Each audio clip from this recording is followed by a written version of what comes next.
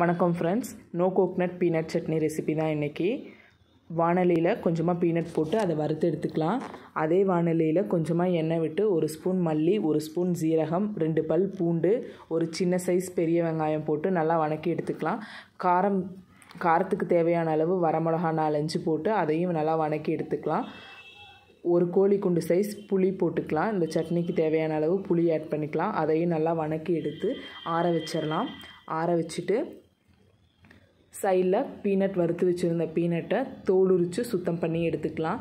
தோல் உரித்து சுத்தம் பண்ணி எடுத்த பீனட்டை பீனட்டை மிக்ஸி ஜாரில் போட்டுக்கலாம். மிக்ஸி ஜாரில் போட்டுட்டு இந்த மிக்ஸு வெங்காயம் மிக்ஸியும் மிக்ஸியில் போட்டு கொஞ்சமாக சால்ட் ஆட் பண்ணி அரைச்சி எடுத்தோம்னா நம்மளோட no coconut peanut chutney recipe ready இந்த பீனட் சட்னிக்கு சுத்தமாக தேங்காய் ஆட் பண்ண வேண்டியதில்லை ஃப்ரெண்ட்ஸ் தேங்காய் சாப்பிடாதவங்க கூட இந்த சட்னியை சாப்பிட்லாம்.